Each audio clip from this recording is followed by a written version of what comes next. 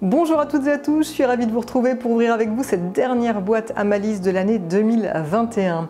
Au programme aujourd'hui du cinéma avec la réalisatrice Camille Auburtin qui dévoile Les robes papillons, un très beau documentaire dans lequel elle évoque la question du souvenir à travers la danse. Nous mettrons le nez en l'air pour découvrir Metz autrement. Cécile Gastaldo s'est en effet intéressée aux macarons et autres détails des façades de la nouvelle ville qu'elle a répertorié dans un très beau livre. En parlant de livres, nous irons faire un tour à la petite librairie d'Ars-sur-Moselle afin qu'Evelyne et Delphine nous dévoilent leur dernière sélection du mois de décembre. Tout cela bien sûr sans oublier notre clip de la semaine. Mais tout de suite, retrouvons la réalisatrice Anya Gower, qui, si elle vit à Paris, est originaire de Sarreguemines, une ville et ses alentours qu'elle a choisi pour décor de son premier moyen métrage, Comme des grands, un film poétique dans lequel elle interroge le passage à l'âge adulte. Retrouvons-la de ce pas pour en savoir plus. Bienvenue dans la boîte à malice.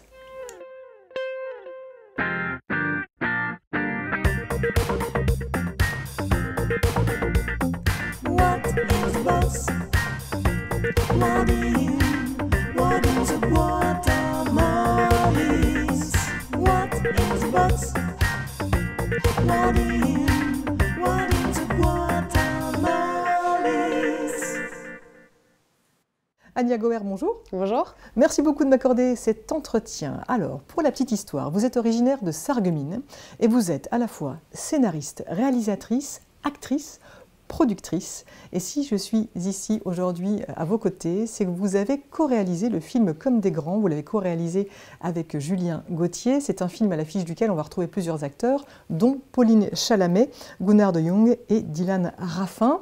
Le film a été projeté déjà à Sarreguemines et on peut le retrouver aujourd'hui sur les plateformes en VOD. On aura l'occasion d'en reparler. Ce film nous raconte l'histoire de Marion. Elle fête ses 28 ans et à cette occasion, elle va remettre en cause sa vie sentimentale, sa vie peut-être tout court. Quel a été le point de départ de ce film? Alors, le point de départ, ça a été les réflexions qui, m'ont traversé l'esprit quand j'ai eu 27 euh, ans et que j'étais effectivement dans, une relation euh, très adulte où on commençait à faire des plans de, partir de Paris et, de, bah, de, faire une croix finalement sur euh, mes volontés de faire du cinéma parce qu'en France quand même ça se passe sur Paris et, essentiellement et j'habitais à Paris à l'époque. Et là euh, voilà j'ai eu un petit, un petit déclic et j'ai commencé à écrire. Au début, je voulais écrire quelque chose d'autre. Et puis, tout naturellement, j'ai commencé à écrire ce qui me passait par la tête, ce que je ressentais. Cette peur de peut-être m'enfermer dans une vie euh, qui est certes un schéma classique. Euh, voilà, à 30 ans, être euh, dans une maison, se marier, avoir des enfants. Ou bien essayer encore une dernière fois de, tout donner pour, pour réussir dans, dans le cinéma et réaliser mes rêves. Je me suis fiancée ce matin. Wow Félicitations. Tu dois vachement le kiffer pour l'avoir suivi jusqu'ici. I love you. Il y a cette question effectivement de savoir si euh, le fait de concilier une vie de famille et une vie professionnelle finalement euh, est possible. Est-ce que pour vous, par exemple, l'engagement, c'est la fin de l'insouciance? Ah, c'est une bonne question. Bah, je, pense que oui, l'engagement, c'est une forme de, fin d'insouciance parce que dès lors qu'on commence vraiment à s'engager dans quelque chose, ça devient sérieux et on voit aussi les mauvais côtés. Mhm. Donc, euh, beaucoup de travail, il faut euh, se rester concentré, il faut faire des choses parfois qu'on n'a pas envie de faire parce qu'il y a des aspects toujours euh, négatifs. Par contre, l'engagement, c'est aussi avancer dans une direction, accomplir des choses. Il y a du bon dans, les deux, il y a du moins bon dans les deux. Après, je me laisse toujours aussi le droit euh, de quitter quelque chose si j'estime que ça ne me rend pas heureuse. J'ai été engagée dans une carrière de comédienne pendant plusieurs années. Et le jour où j'ai compris que ça me plaisait peut-être moins et que j'avais plus trop envie de faire ça, je me suis laissé le droit de, me lancer dans, la réalisation et dans l'écriture. Et maintenant, je suis engagée là-dedans. Euh, voilà, on verra si, ce sera encore le cas dans les prochaines années. Cette écriture, elle vous a été simple, facile? Euh, alors l'écriture, c'est quand même un processus qui est assez, qui est très solitaire. Moi, j'écris de nuit, donc euh, je, quand je suis en phase d'écriture, je suis très fatiguée parce que je travaille le jour et je travaille ensuite sur mon scénario de à peu près 22 h à 4 h du matin. Donc c'est des périodes où je suis quand même pas, pas très en forme, mais j'aime beaucoup euh, le processus parce que on, c'est vraiment le, moment où on peut sortir des choses, coucher des choses sur le papier qu'on ressent, qu'on n'arrive pas forcément à exprimer ou à, on n'arrive pas vraiment à mettre des mots dessus dans la vie de tous les jours et c'est le moment d'exprimer ça à travers des personnages, des situations qui, sont pas, qui ne sont pas arrivées mais qui vont vraiment illustrer ce qu'on ressent. Donc c'est un processus que j'aime beaucoup. Écoute, t'as qu'à venir avec nous? Non, t'inquiète. T'es sûr? Ouais. Sûr? Oui. Suiveuse. Faut s'émanciper là un peu, Noël. T'es toujours aussi insupportable. Plus j'avance dans l'âge, plus j'ai l'impression de rien comprendre à rien. Je pensais que ce serait l'inverse.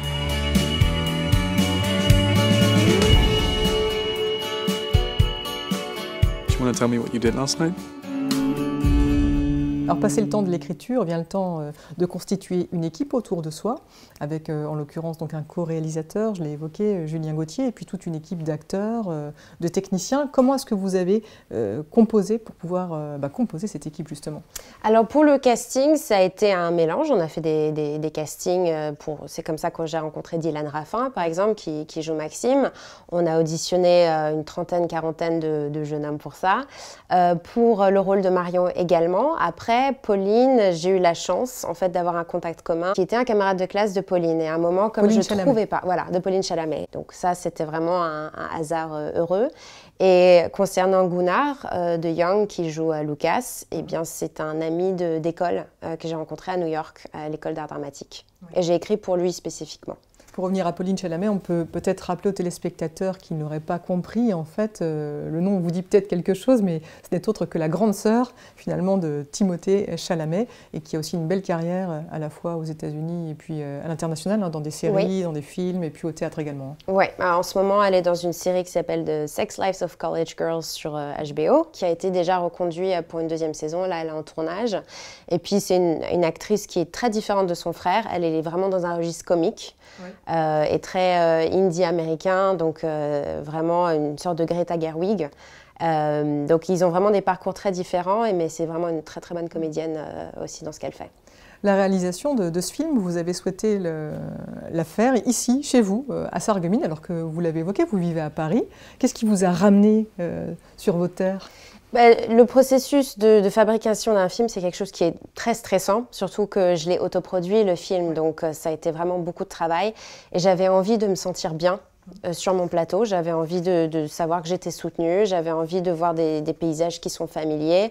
Euh, donc j'aime bien tourner ici parce que je sais que j'ai ma famille, j'ai mes amis, j'ai ma communauté, euh, j'ai les maires de tous les villages, des villes qui nous ont, qui nous ont soutenus. Et je me sens à l'aise ici. Et puis en même temps, quand j'écris, je vois toujours des paysages d'ici.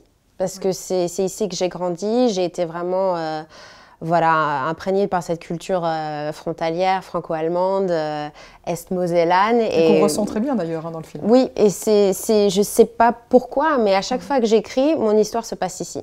Et je ne sais même pas euh, conscient, et donc ben, naturellement, je ramène mes tournages aussi ici. D'un point de vue esthétique, j'ai été séduit par votre film, tant sur le fond que sur la forme. Et puis c'est vrai que dans l'esthétique, moi ça m'a rappelé des films comme Garden State, le premier film de Zach Braff. Euh, vous, est-ce que ce sont des films par exemple où ce film vous a-t-il marqué et quels sont peut-être les films qui vous ont conduit à, faire du cinéma? Alors euh, Garden State, c'est un film qui m'a énormément marqué et d'ailleurs que j'avais montré à mon co-réalisateur avant qu'on tourne. On avait regardé Garden State de Zach Braff, on avait regardé euh, Lady Bird de Greta Gerwig et on avait regardé aussi un film de Sam Mendes qui s'appelle Away We Go. Pour vraiment essayer de, s'imprégner de cette esthétique un peu euh, film indé euh, donc qui est aussi entre la, comédie, le drame et beaucoup le thème du, parcours initiatique. Donc voilà, de, de, comment devenir adulte, qu'est-ce que qu'est-ce que c'est de devenir un adulte, pourquoi est-ce que c'est aussi dur aussi parfois. Et c'est les thèmes vraiment qu'on retrouve dans, dans ce film-là. après, les réalisateurs qui m'inspirent beaucoup, j'ai Sofia Coppola. Lost in Translation, ça a été vraiment, il y a eu un avant et un, et un après euh, pour moi. Euh, Little Miss Sunshine aussi. Voilà, j'aime vraiment ces films qui, euh, qui sont drôles, qui sont aussi intelligents et qui font qu'à la fin, on en sort heureux. Et en même temps, on s'est posé des, des, questions et on, en ressort quelque chose vraiment de très, de très personnel. Vous avez créé votre société de production Telling Stories. Ça veut dire que la suite, après ce film que va-t-il se passer? Quels sont vos projets? Alors là, j'ai produit euh, deux clips Et là, je suis à l'écriture. Là, j'écris beaucoup, beaucoup en ce moment. Euh, je pense que je vais sortir 8 ou 9 courts-métrages, un projet aussi de, de mini-série. Et puis voilà, on va faire avec Telling Stories, on va faire des demandes d'aide au financement, à l'écriture, à la production et on verra lequel euh, va obtenir ça. Pour terminer, si vous deviez me convaincre, mais moi je suis déjà convaincue, bah, les convaincre les téléspectateurs de regarder ce film, qu'est-ce que vous aimeriez euh, qu'ils ressentent Alors déjà, je pense que c'est la, naissance d'une star. Parce que Pauline Chalamet, c'est un de ses premiers films, c'est un de ses premiers euh, rôles principaux dans un film en France, en tout cas. et maintenant, voilà, elle, elle, est sur HBO, elle a travaillé avec Joe D'Apato, donc voilà, déjà, découvrir Pauline Chalamet, c'est quelque chose. Et deuxièmement, je pense que c'est des thèmes qui sont très universels, qui peuvent parler à tout le monde, la difficulté de devenir adulte. Et puis, euh, voilà, j'espère que les gens, euh, en regardant le film, vont avoir envie de, de croire en leurs rêves, de de tenter, il faut tenter, il faut, faut jamais renoncer. Eh bien, moi, en tout cas, je suis convaincue, puis je l'ai vu, je peux confirmer qu'effectivement, c'est un très beau film à voir donc sur les plateformes en VOD.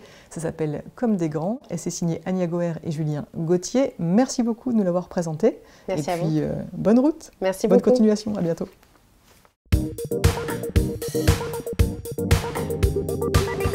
Et on notera que le film Comme des grands a reçu de nombreux prix dans des festivals à l'international, prix du meilleur film, de la meilleure actrice ou encore du meilleur décor. Raison de plus de le visionner, ce que vous pouvez faire en vous rendant sur des plateformes VOD comme SoFi TV, Indieflix, Movies et à partir du 21 janvier, vous pourrez également le découvrir sur la plateforme VOD Sofa.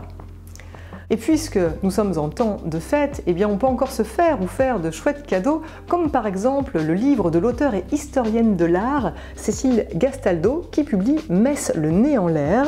Elle nous offre une autre vision, un autre regard sur le quartier de la nouvelle ville. Explication.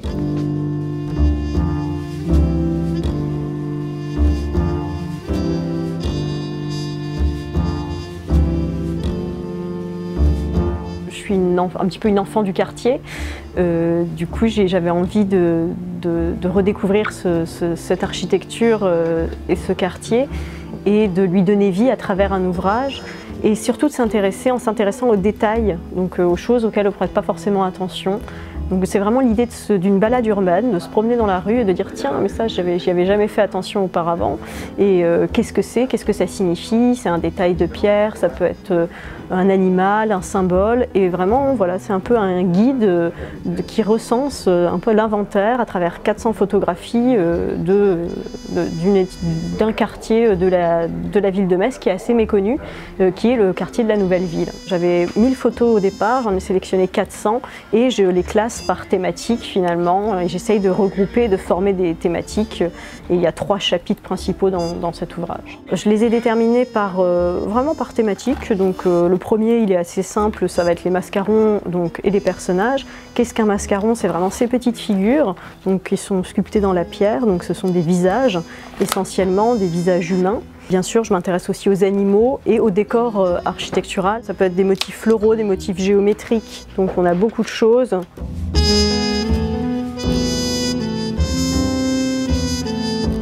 Donc là, on s'intéresse aussi, on part dans le mess un petit peu plus euh, avec des motifs art déco et des motifs géométriques. Donc on va s'intéresser aussi aux dômes et aux tourelles. Euh, et vraiment, l'idée, c'est de lever le nez pour apercevoir l'architecture qui nous entoure. Des propos recueillis à la librairie La Pensée Sauvage à Metz, où Cécile Gastaldo était en dédicace. Vous pouvez vous procurer Metz le nez en l'air, paru aux éditions Les Parèges, dans cette même librairie ou dans toutes les bonnes librairies indépendantes. Intéressons-nous à présent au premier documentaire de la réalisatrice Camille Auburtin, qui si elle vit à Bordeaux, est originaire de Metz, où elle a d'ailleurs fait ses études. Avec les robes papillons, elle a souhaité s'intéresser à sa grand-mère, une ancienne ballerine, professeure de danse, touchée par la maladie d'Alzheimer. Camille Auburtin a souhaité fouiller dans ses souvenirs d'enfance pour tenter de réveiller la mémoire de sa grand-mère. Elle était à Metz pour présenter ce très beau film au club et j'ai eu l'occasion de la rencontrer à cette occasion.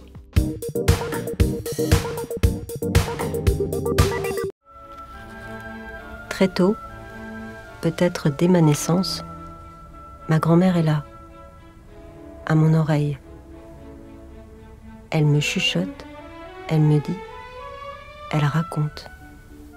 J'avais envie et besoin, quand ma grand-mère est rentrée en résidence médicalisée, de, garder des images. Euh, des images d'elle. Je m'étais dit que j'allais aller la voir et stimuler un petit peu comme ça sa mémoire euh, à chaque fois que je, venais la voir. Et un jour, je suis venue avec euh, la musique du Spectre de la Rose, donc un ballet qu'elle avait euh, beaucoup monté voilà, en tant que professeur au conservatoire et donc elle avait beaucoup transmis et donc elle se souvenait parfaitement de la chorégraphie. J'ai mis le, la musique en fait euh, elle s'est redressée tout d'un coup, elle s'est illuminée euh, et, elle a commencé avec ses mains, comme font les danseurs euh, classiques, à, faire la chorégraphie vraiment, à se déplacer dans l'espace.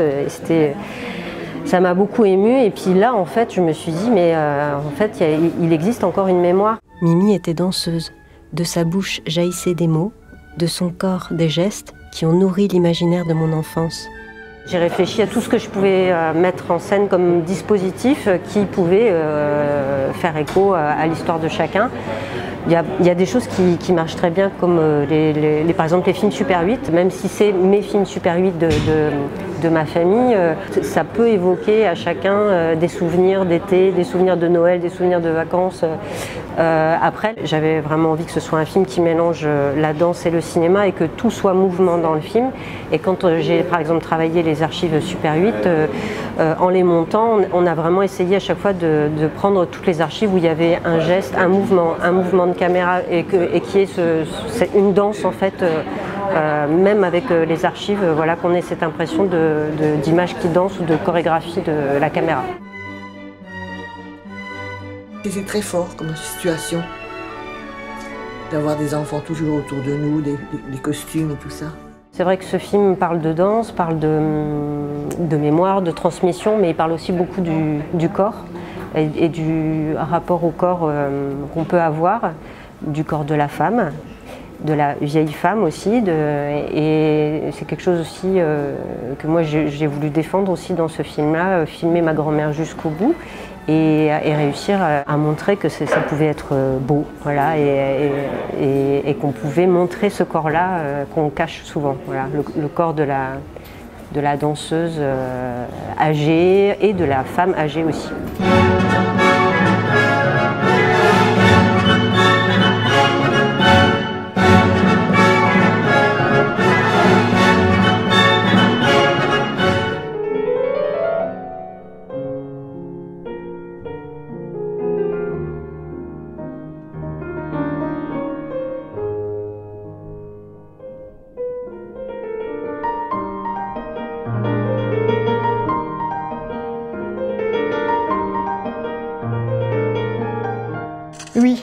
Encore une mémoire comme en témoigne ce premier très beau documentaire de la réalisatrice Camille Auburtin.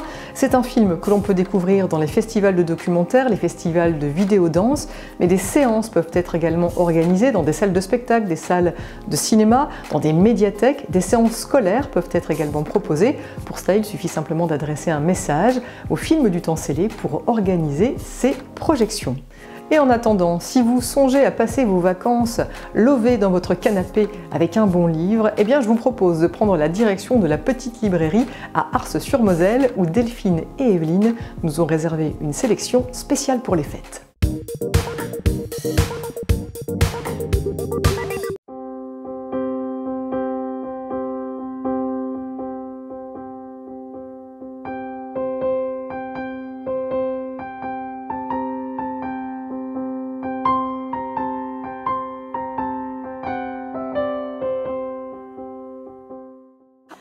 A fait une petite sélection de titres de Noël, des livres qui sont sympas à lire pendant les vacances de Noël ou à offrir.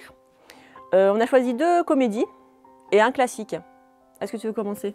Allez, commence.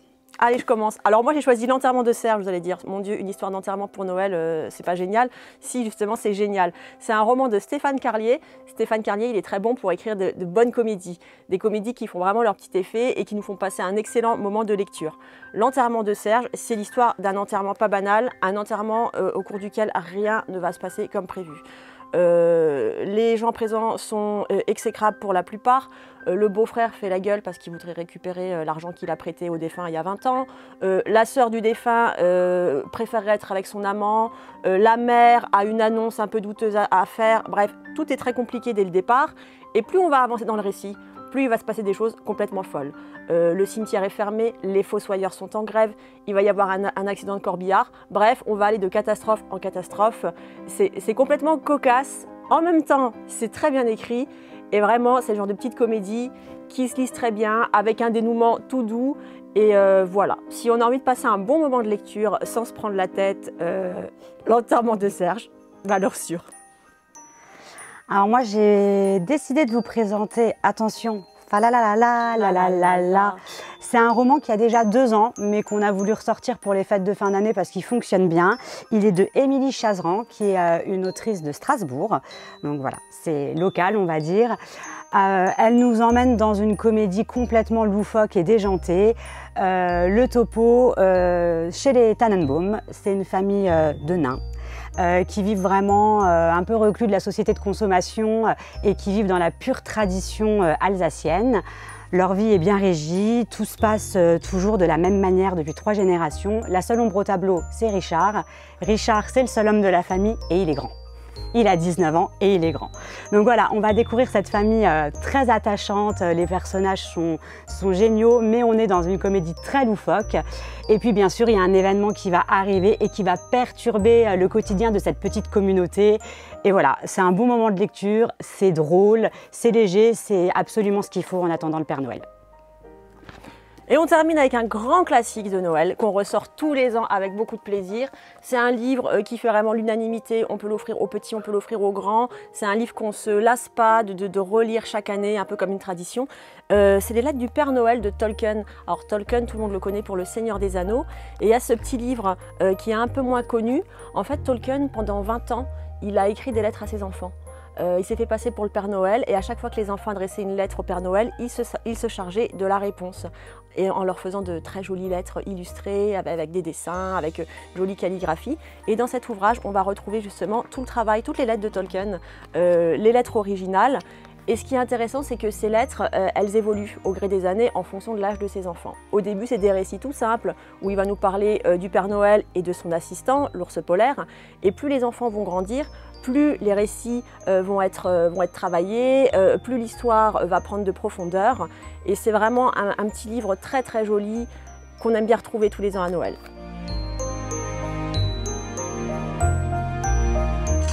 Vous procurer ces ouvrages, n'hésitez pas à pousser les portes de la petite librairie à Ars-sur-Moselle ou aller faire un tour dans toutes les bonnes librairies indépendantes.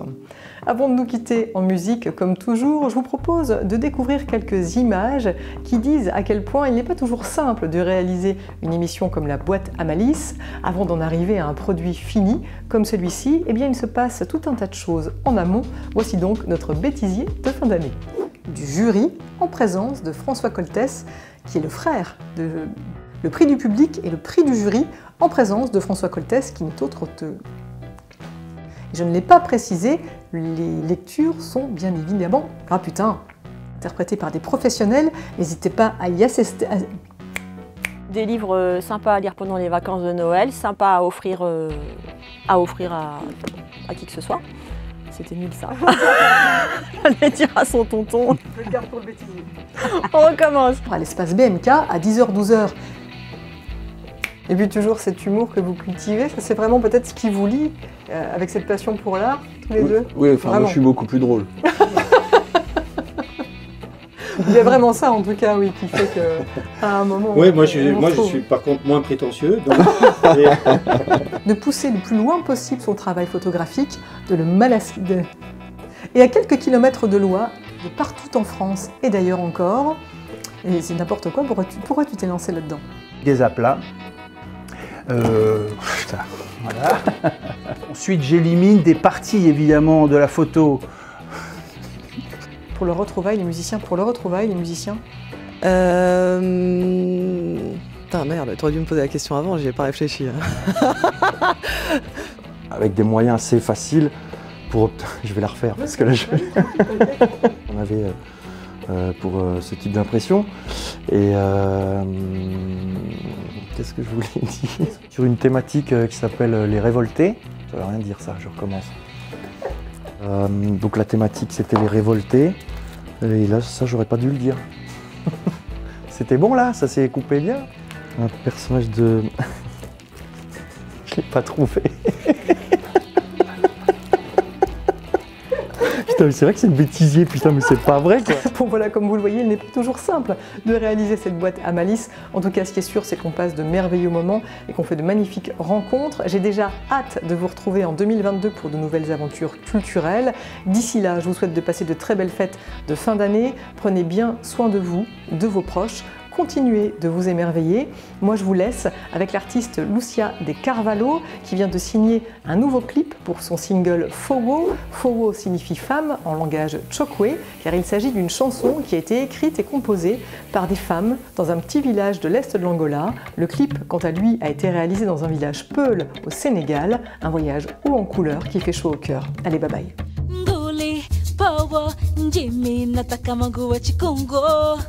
ngulipowo wakutakama mukozango yaminahana manokoliana esenyi. Waze musono kali yatwanene yango tanganye kuzikiza. Izango momatata miso. Unatelaka lemiso kuliatu eso. kulijishina cha mono mumu akeci yamia nguli powo mukwakuki kusenga kwakukalakala chishikuzeya kwakondonoka mukachika milimu ya mimakutukameya kuwashinetemoya chisemukunyicihunda chami. Mungu wasakuseya lalalala shikwelaise lalalala nguli mm, nyichiyengo mubunge. Umupe